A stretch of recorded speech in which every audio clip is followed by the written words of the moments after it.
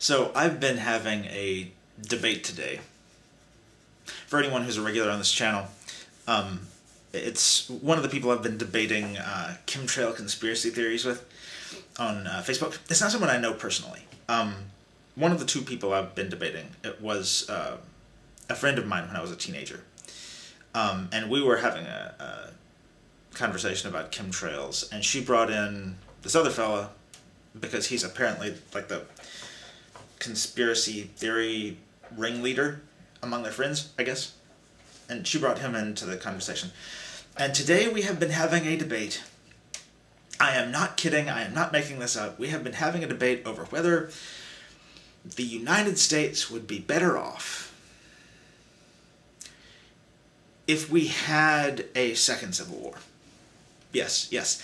He thinks he thinks that he and and his friends and, and the people like him are going to start what he calls the new revolution or the second revolution.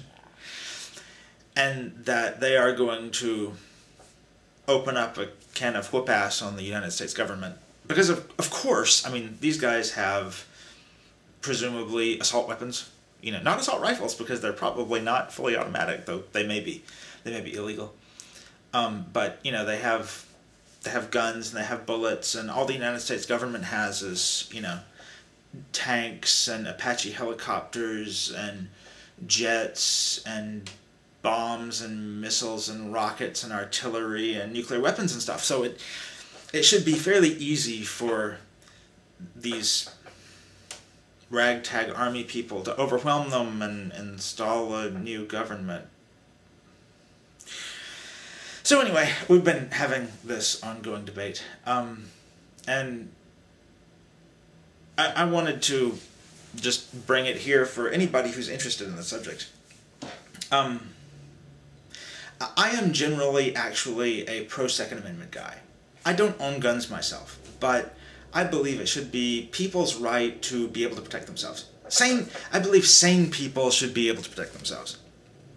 But if there were ever a good argument for um, banning weapons altogether, for for complete gun control. If there were ever a good argument for that, it would be people like these, like this guy and his friends, because they have a lot of weapons, and they are delusional, and they think they're preparing for a war with the United States. So I'm. So this is basically a message to people with this ideology, people who think this.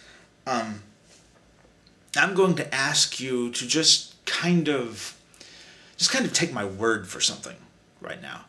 Um, it, you are crazy if you believe this. If you think you're going to stockpile your rifles and take over the United States government, you're crazy. Like, completely, you're crazy. So, if you think this, um, please sell all your guns, all of your ammunition, everything, every weapon you have, any sharp object you have, pencils, whatever, get, get rid of all of them and use the money you collect from selling them to get help. Please, just get help for the good of everyone. Please.